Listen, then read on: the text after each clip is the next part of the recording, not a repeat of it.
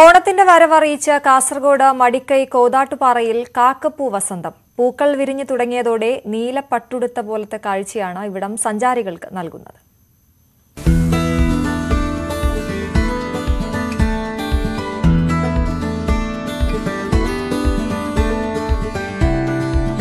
ഓണത്തിന് മുൻപേ വയലറ്റ് പൂക്കളുടെ മനോഹാരിത തീർത്ത് കോതോട്ടുപാറയിൽ കാക്കപ്പൂക്കൾ വിരിഞ്ഞു തുടങ്ങി. യൂറ്റിക്കുലറി എന്ന ശാസ്ത്രീയ നാമത്തിൽ അറിയപ്പെടുന്ന കാക്കപ്പൂക്കൾ ജൂലൈ അവസാനത്തോടെയാണ് വിരിയാൻ തുടങ്ങുന്നത്.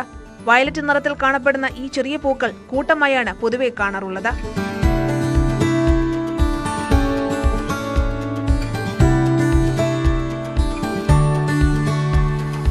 മടിക്കൈ പഞ്ചായത്തിലെ മലപ്പച്ചേരി കോതോട്ടുപാറ മൂന്ന് റോഡ് തുടങ്ങിയ സ്ഥലങ്ങളിലാണ് കാക്കപ്പൂക്കൾ വിരിഞ്ഞു നിൽക്കുന്നത്.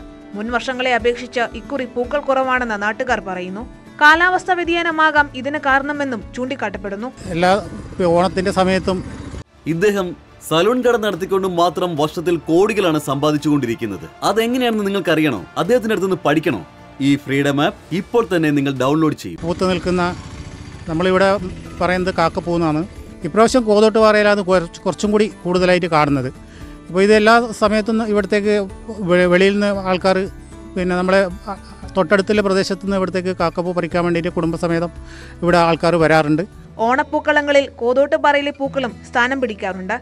കാക്കപ്പൂവിനോടൊപ്പം കൃഷ്ണപ്പൂവ് വിവിധതരം കോളാമ്പിപ്പൂക്കൾ ചൂത് ആകാശനീലി പാറനീലി തുടങ്ങിയ വ്യത്യസ്തങ്ങളായ പൂക്കളും ഇവിടെയുണ്ട്.